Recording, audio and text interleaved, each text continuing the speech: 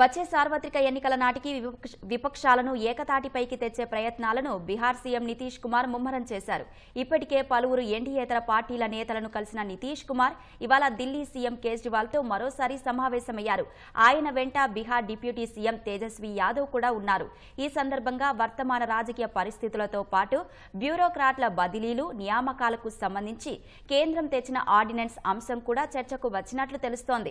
కేంద్రం తేనున్న ఈ బిల్లు రాజ్యసభ ముందుకు ముందుకు వచ్చినప్పుడు తిరస్కరించాలని ఢిల్లీ సీఎం కేజ్రీవాల్ నితీష్ కుమార్కు కోరినట్లు సమాచారం.